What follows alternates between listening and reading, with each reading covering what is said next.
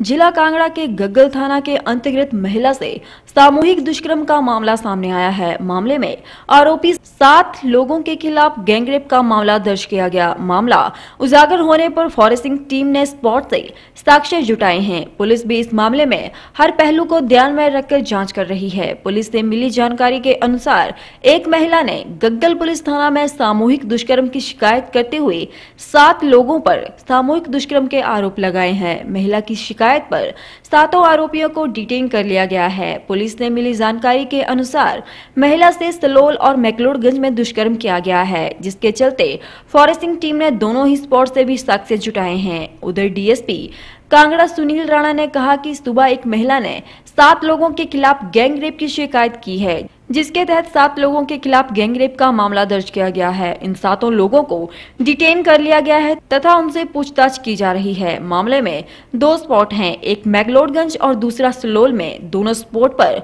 Foresting team ने visit कर साक्ष्य जुटाए हैं। सभी पहलुओं को ध्यान में रखकर जाँच की जा रही है। सातों आरोपियों को गिरफ़्तार किया जाएगा और पीड़ित महिला का मेडिकल करवा लिया गया है। ये घटना पिछले कल की है, जिसमें गैंग रेप के तहत मामला दर्ज किया गया है।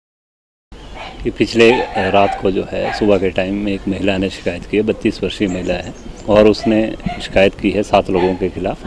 तो सात लोगों के खिलाफ जो है गैंग रेप का मामला दर्ज किया गया है और उनमें से सातों के जो लोग हैं उनको डिटेन कर लिया गया है, उनसे इंटरोगेशन चल रही है और जो स्पोर्ट है स्पोर्ट का विज़िट फॉरेंसिक टीम से भी करवाया गया है।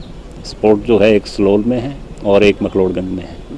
तो दोनों जगह फॉरेंसिक टीम ने विज़िट किया है और एविडेंस कलेक्ट की है। और कर रहे हैं उसमें भी सभी एंगल से जो है इन्वेस्टिगेशन जारी है और इनको अरेस्ट किया जाएगा एक्यूज़ को और जो विक्टिम है उसका मेडिकल करवा लिया गया। तो कितने दिन जो है इसके साथ ये घटना घटी है? जो महिला ने क्या बयान दिया? ये जो घटना है ये पिछले कल की है। एक दिन की ही बात है।